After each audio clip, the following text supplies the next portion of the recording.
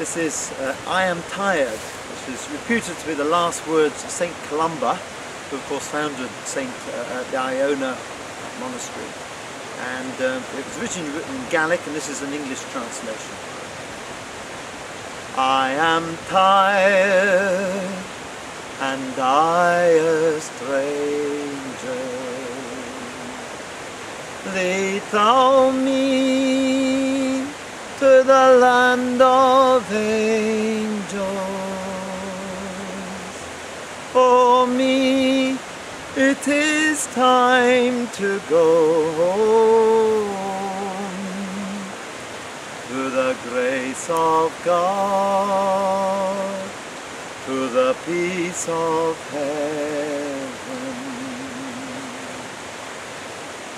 And here's the alto part. That was the soprano, the top part. This is the alto. I am tired and I am a stranger. Lead thou me to the land of angels.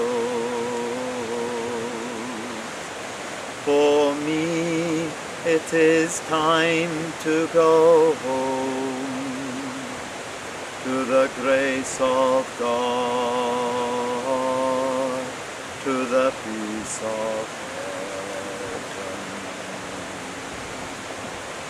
And the final part, the bass or the baritone part, sounds like this. I am tired and I a stranger. Lead thou me to the land of angels.